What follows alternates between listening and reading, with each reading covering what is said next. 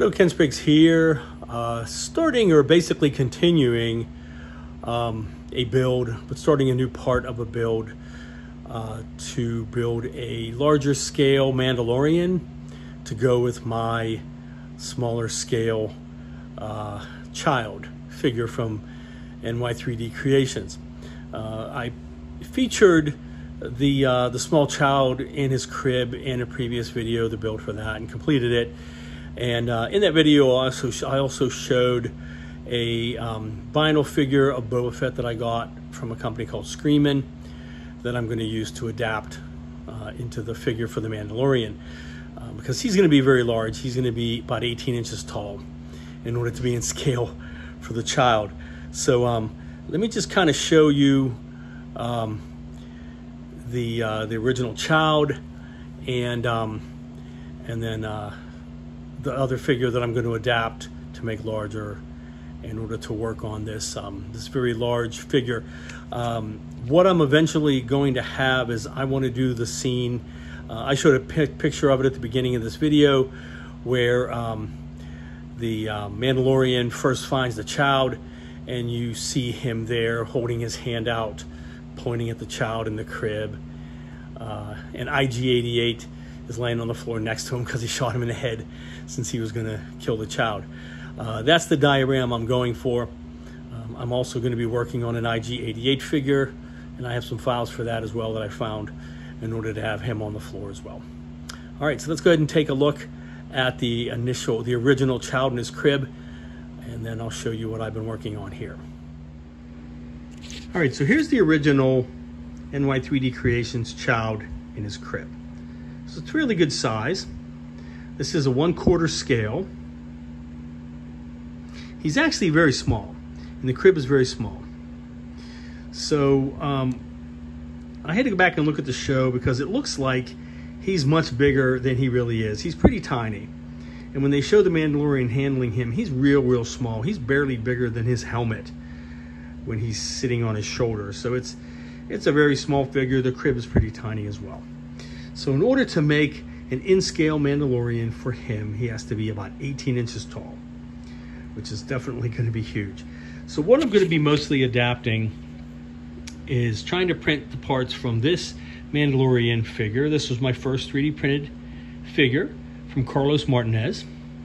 Uh, and um, what I'm going to try to do, and I already printed some of them, is to print off parts of him like his boots, his arms, his helmet, possibly like his armor, his chest, that kind of thing. And, um, and scale them up to be the right scale for the bigger figure, and then combine them with the um, the Screamin' Boba Fett figure. And I'll have to do a lot of adaptations and a lot of modifications to make that work. Lots of epoxy sculpt. So um, I got a lot of epoxy sculpt in. so let's go ahead and take a look at what I have on this so far. All right, uh, as I had shown in the first part of my child and crib uh, build from NY3D Creations, I'm going to be working on building an in-scale Mandalorian to go with him. And um, so what I'm doing is, I had shown before that I have the um, Boba Fett figure. That's highly inaccurate. And I'm uh, printing out some parts from the um, Mandalorian, the first build that I did, in a in a larger scale, uh, and um, and augmenting that figure with the with the pieces. So uh, initially, what I had shown was uh, this boot, this hand. Uh, there was a helmet. There's a helmet I have, and also part of his chest. Now, I've tried a few more things uh, I tried printing his chest again in a little bit larger scale. For some reason, it failed right at this edge and stopped printing. And so I only got this part done. Uh, I'm working on maybe flipping it over and reversing it and printing from the top down and gluing those two together. Also, there was some problem with one of the one of the shells there on his belt that I can patch up and fix as well. So this piece is harder to print because it does not fit in the build plate. So I have to put it on there and just print the parts that will fit. As you can see, it's cut off right there. So still working on that. That one's a little harder to do, but I'm getting closer. Uh, I printed the right boot in 160% scale. So that one is correct to where it needs to be. And then I printed the left boot in 160% scale because the first one I did in 150. And you can see the difference. It's bigger than the other one. Definitely a larger, a larger boot. So this one I won't be using. It's, it's too small. As you can see, they don't match up. But I will be using the bigger one that I made. So what I'm doing right now is the, um, the left side of this figure is meant to be standing down on the base, which is like a sand or rocky base. And the right boot is propped up on top of the, the horned beast skull. So the right boot has some detail for the boot's bottom tread, which looks kind of cool. The left boot does not. The left boot is just smooth because it's just going to go down onto a piece and you're not going to see it anyway. So what I'm doing is I'm cutting out some thick styrene sheet pieces and uh, molding them to be the right shape for the treads and gluing them onto the bottom with some AC glue. And I'm going to do that all around the boot just so you can see from the side. You're not going to see the bottom of it, but I want you to be able to see that tread like this. So the two are comparable in how they look as far as the tread. So, okay. So let me keep working on that. And, um, and then I'm starting to, to cut parts of the legs off of the Boba Fett Screamin' figures so I can go ahead and start getting these glued into place and start doing my modifications.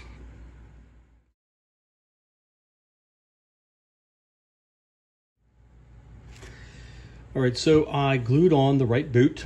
I didn't glue it on. I used some epoxy sculpt and I fashioned an edge around it, looking like it's some type of a band around his leg or his pants leg, and uh, informed that into it and let it harden on there so that the right boot is, is attached.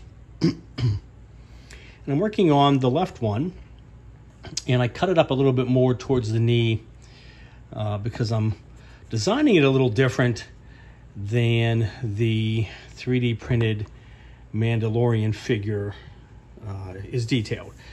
Mainly because I realized that some of the parts on there are inaccurate. And keep in mind, his, his outfit has changed several times. It literally changed within the first episode so that his um, he replaced his his right shoulder pauldron with a, a shiny new one. Uh, then after the first episode, the second episode, he replaced several other parts with some shiny new parts. So I've been looking at some stills and looking at some different scenes from the show to try to figure out how it all looks. And there were some inaccuracies as far as like the right knee um, definitely the left knee is very different.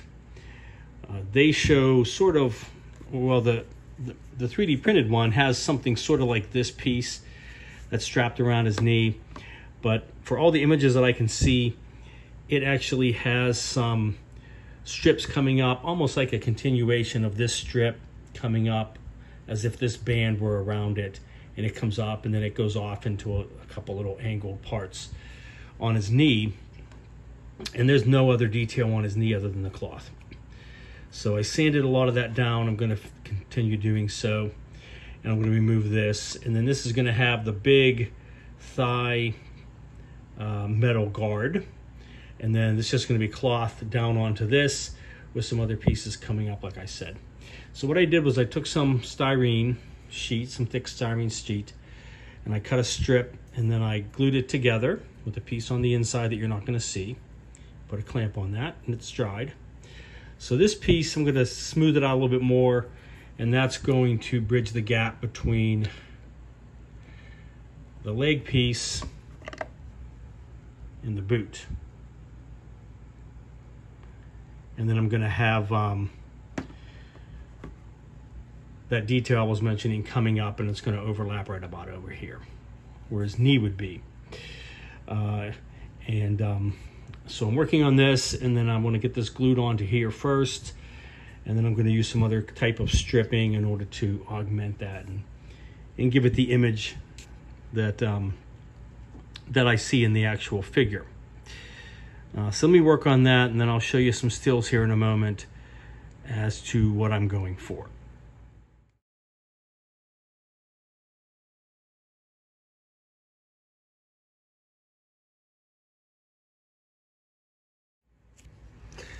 All right, so I glued that part onto the top of the boot, the rounded part that I made. I first tacked it on with some uh, AC glue. And then I used some 5-minute epoxy and just filled it in there liberally around it to, to make it nice and solid. So that's gonna stay on there pretty good. All right, so that gives me a nice base. It extends it up just enough. Now what I'm gonna do is go ahead and build up the extra parts coming up around the knee. So what I did was I started with some flat uh, square stock, as it were. Took two pieces. I used a uh, emery board to bevel the edges on either side, and then I just glued them on together at an angle. To kind of imitate this piece right down here. It's just a little bit larger, but I'm imitating the two sides of this with that groove in the middle. So those are going to be coming up through here, sort of matching up with that as though that were one continuous piece and going up. And then I'll make the other bits coming off of it. So, all right. All right, so I took the, um, the pieces that I made, I glued them first initially onto the back of this so I could create that little gap between them. And at that point, I still had these two pieces glued on the sides, but they were sticking straight out and it didn't look right. It wasn't curving around to conform with the ones that you have there. So I cut these back off and I sanded down the edges a bit. And then what I'm gonna do is I'm gonna put, I'm gonna glue these on at an angle so that they'll curve around and conform to it. And what I've done is I beveled that edge. See, it's kind of flattened. So that I can put that piece flat against it. Like so. And you can kind of see how the pattern repeats and it's going to angle out just a little so that it will match the angle of that. Like that. So in the end it's gonna it's gonna look like this whole band which is held on to his boot like a shin guard goes up underneath this strapped on piece and continues up to his knee and that's how that part's going to work.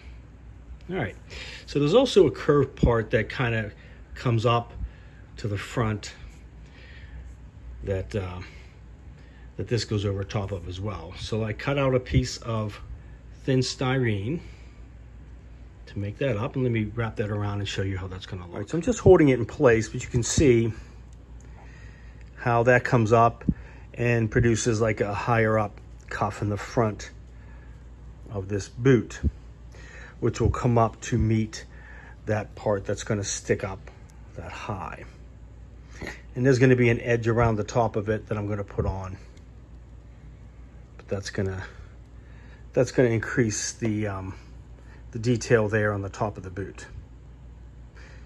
It kind of reminds you of some of the boots that you see, like the swashbuckler boots that have the big flare edge coming up meeting their shin or their knee and it looks kind of like that at the top of a boot. So it's similar kind of thing. But then there's these other pieces that stick up and act as a shin guard. So, okay.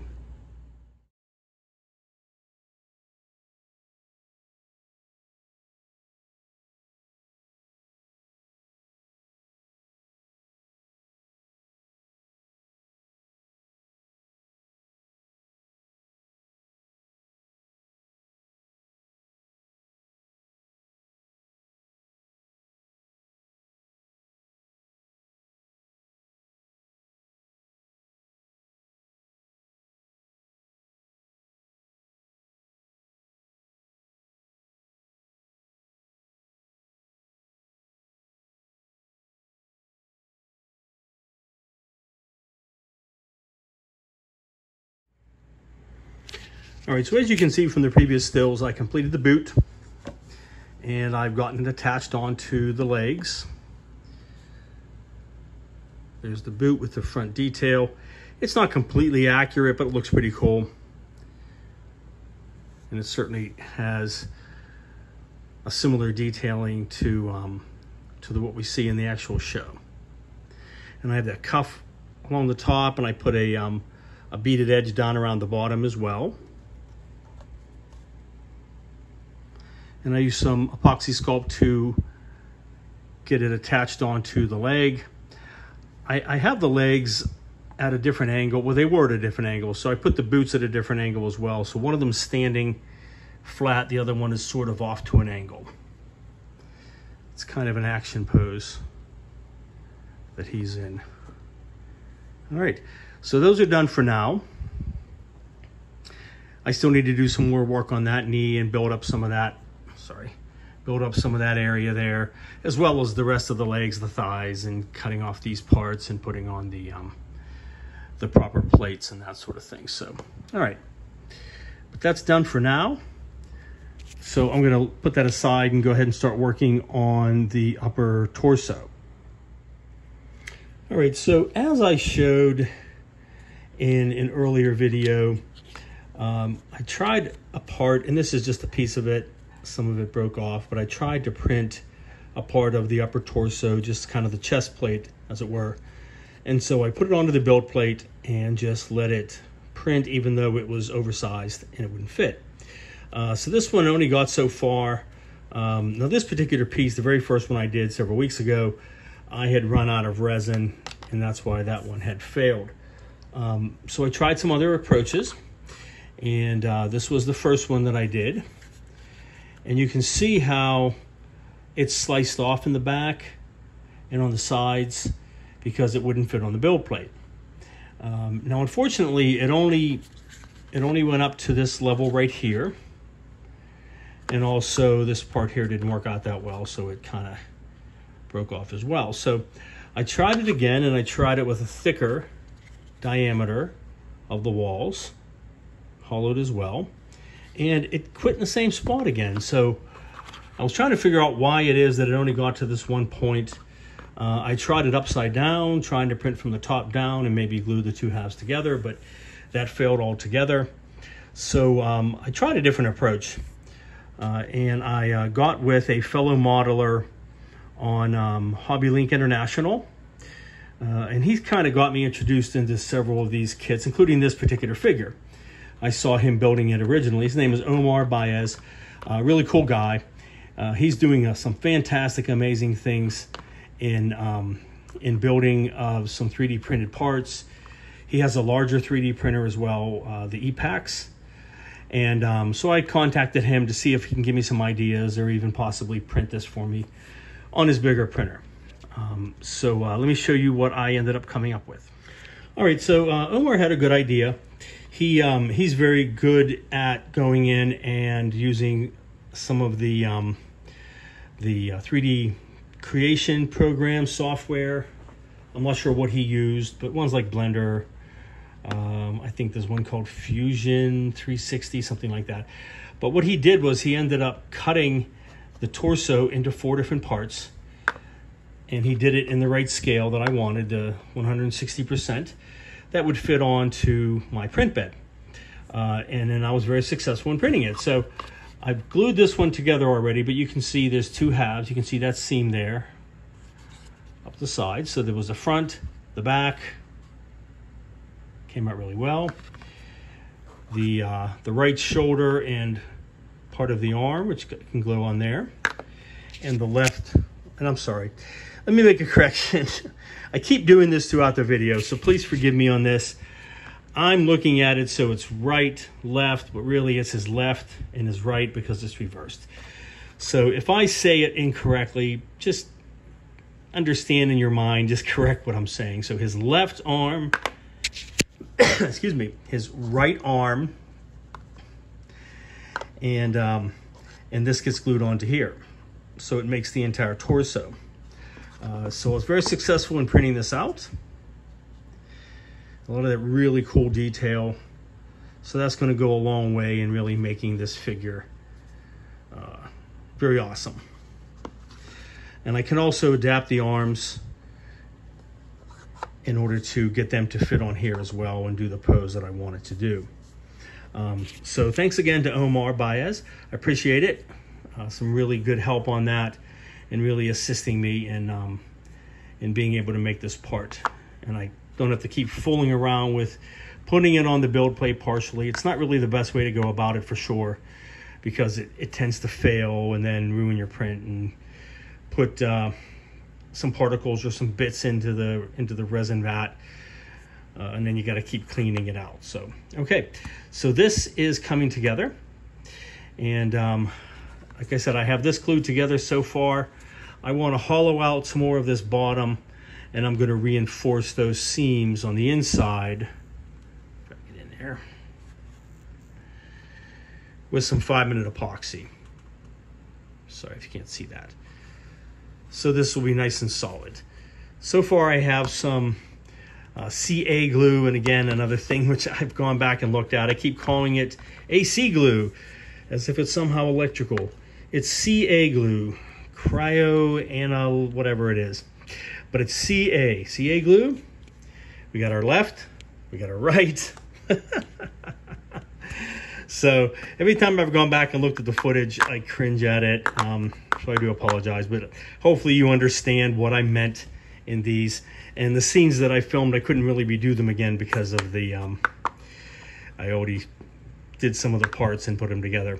Um, plus, I have yet to master, and I don't know why I cannot figure out how to do it, how to put some little words across the screen briefly that, that correct what I said that was wrong.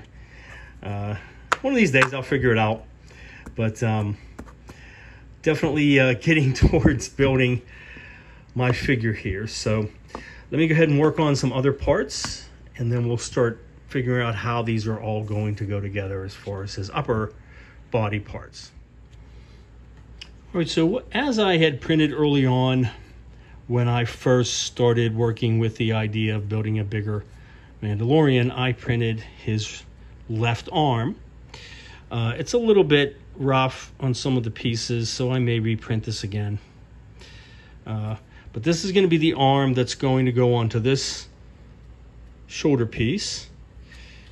And normally it's it's over his his leg for the figure and it's tilted this way. I'm going to tilt it just a little bit more to this way and I'm going to straighten out that index finger, maybe bend back this finger. So it looks like he's pointing. He's reaching out and he's putting his hand out and pointing towards the child when he first sees him. Uh, and then that's this one's going to be pretty much just fine as it is. Uh, but like I said, I may reprint that again. And this time I'll leave like the uh, connector on there. I took it out on this one, but it would help to get it into this um, to this opening right here. So we'll see. We'll play with that. Now on the um, on the right arm, on the figure itself, his arm is up and over his shoulder holding his rifle. And I printed out two copies so far of his, his right hand holding the part of the rifle. Uh, and this is way too big for me to try to print. So what I did was I printed it this way. Once it got up to here, I stopped the print because it wouldn't have wouldn't have completed with the uh, with the butt of the gun. Uh, so I'm not sure if I'll be able to print his big long rifle or not and put that together. We'll see. But what I can do is I can cut around the hand because I want to have this hand holding a gun anyway, his blaster, uh, because he just blasted IG-88 in the head and he's laying on the floor. Um, so I thought about trying to rework the arm and cut it so his arm is at his side, but I think I'm just going to go ahead and use the, the arm as it is, where it's up in the air and he has his gun in it, but it won't be his rifle. So, so what I did was I printed his right arm, um, and then the first one I printed had a really good clean side, as you can see here, but the opposite side was really rough and nasty because it's really hard to position this without putting a bunch of supports on it, and it just smooths out that detail. So what I did was I flipped it over, And I printed the other side, printed it again, but I got a clean side. And this one's nice and clean. All little details, little teeny missiles or whatever those are. And then what I did was it was a natural seam right down the side anyway and down this part of the plating. So I just cut them off with a Dremel and, um, and so they'll fit together. Let me go ahead and put those together and I'll put them onto the shoulder socket and show you how that's gonna look. All right, so the shoulder, shoulder when it goes into that key there, tends to hold this in place. And so when I glue those together, I can put them together nicely. Uh, and then those seams seem rather natural. And once I get this glued together and it's held down and maybe doing just a little bit of puttying, they won't be noticeable. And I can fill that in even with a piece of of styrene stripping, that sort of thing. And then the way this is going to go is this goes on his shoulder, obviously, and his arm is sticking up in the air. Now with the smaller figure, he has the rifle and the rifle's going back over his shoulder, uh, but I'm just going to have a gun in his hand. And so I'm going to adapt this part, like I said, and then that's just going to go into a gun sticking up in the air. So let me put that on and I'll show you how that's going to look. Okay, there we go. So just imagine that you're not having this big bulky part of his rifle there. It's just going to be a gun. And it'll be pointing basically up in this direction. This direction. So the gun will come out and go this way. As though he's just holding it up in the air like this kind of thing and then that'll be on his shoulder with his gun in his hand. So just a little bit of a variation, same basic idea. He's holding his pistol and, um, and he just got through shooting IG-88. Uh, and then the other arm, his left arm is going to be on here and this is going to be sticking out as if he's reaching out to the child. And he'll be positioned, obviously, standing in front of the, the crib with the child in it uh, in that particular pose. So, all right. So lots of work, lots of adapting because obviously the stance of this figure is not right at all for the diorama that I'm doing. The size certainly is not where it ought to be. So I'm going to have to do an awful lot of um, adapting. I already have, and I'll continue to do so. But um, I will continue to work on that and uh, kind of getting to the point very shortly once I figure out everything with the gun and how his arm is going to be, where I can start getting his whole entire upper torso put together. And then um, and then start work, working on his waist and his his thighs of his legs and getting those built up as well. Okay. All right, so uh, I've um, created several more parts for this uh, 18 inch Mandalorian. Um, I found another file of uh, this character that I'm going to use some parts from as well, another 3D printed file. The original one that I adapted, of course, was my very first print. Uh, it's by a uh, gentleman named Carlos Martinez and um, it's a really really awesome version which um, I showed uh, of the Mandalorian standing on a um, the skull of the horned beast and um, that that original print was designed to be about 12 inches tall I printed it at uh, half scale at six inches which I showed earlier and this one here is at 160 percent which is obviously much larger and it's been giving me a little bit of trouble. I managed to get the um, upper torso worked out with the help of uh, Omar Baez. So um, on this other print, there are some parts that I can use for it, and um, I think they're going to work out well. Uh, one of them is um, the waist of this Boba Fett figure, which again is way, way just out of proportion. So here's his waist. His practically non-existent behind, which is just flat, which just it goes down into his beefy legs, which just doesn't make any sense. It's really disproportionate. Um, and then of course this was the same width. Here's here's his torso that came with it. And this fit on there. So yeah. So I don't know if the actual I didn't go back and look to see if maybe the the actor that played him, Boba Fett, was just really skinny or something, but they're just way off. I mean, you can see the difference between the two torsos, obviously, how thin that is, and how um, how beefy this one is. Yeah, so that wasn't going to work. that would have had been built up quite a lot.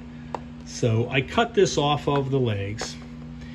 Uh, and there's very little of this kit remaining that I'm actually using, which is fine. That happens a lot when um, when doing this sort of thing, because a lot of this I'm just figuring out as I go. So um, so what I did was I just really needed the waist so that it would be the right size for the torso and have the proper thickness and dimensions and actual behind on it, which this one does. I'm not that worried about that roughness because I can sand that down and it won't be seen anyway with the cape. so this part was rather tricky. Not because I couldn't get it to print. Um, I actually sat it on the build plate this way. Like this is the width of the build plate, knowing that it would cut off right there.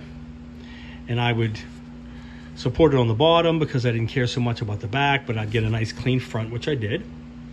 Um, but it was the size. Uh, unfortunately, a lot of these prints, when you get them and you put them into the software, Chitubox, they're not necessarily the right size. For whatever reason, this one, every time I put a part in, it was way, way too tiny. And I had to scale it up and then just try to guesstimate the right sizes for it. So what I was trying to do is I'd have it blown up on the screen and I had a ruler and I measured the build plate to see that it was about the right size and kind of get an idea and even hold the part up to the screen and make sure it was going to fit. So it took me several attempts to get it to come out to be right. So it would match up with this right here. So we wouldn't have a problem. As you can see, this is hanging over just a little bit. His actual waist should be the size of this waist and this should be sticking out. It's an extra piece. So this one is too small. So finally I got one done that is about the right size. Uh, also I had to sacrifice how long it could print the bigger I made it because I have to then fill in the rest uh, with epoxy sculpt. So I finally got it done and um, I've gone ahead and attached it onto the figure. And you can see the big difference, the big gap that's in there. But that's going to nicely work. It's going to just, I can mold some sculpt right down and mold the legs, mold in between them, fill it in. I mean, the legs aren't bad, really. If you look at it, those legs are nice and beefy.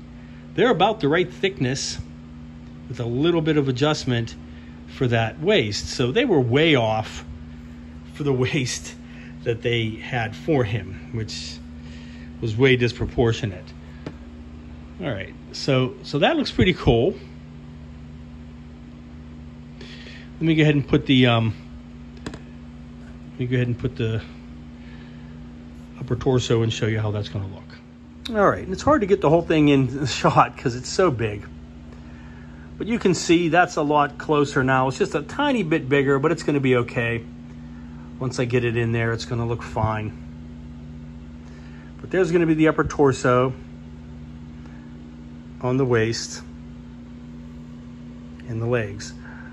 So I just have to fill in the, um, the legs there with some epoxy sculpt and get that part to work. Set this down here.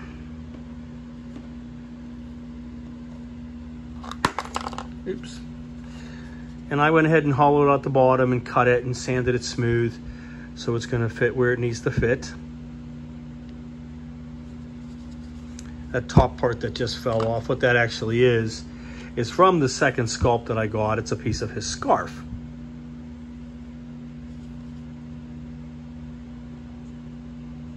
his cape, I'm sorry, not his scarf, his cape. Um, now the actual cape, I tried to fit it on there and see if I can get the whole thing to print, but it's just, it's even in three pieces.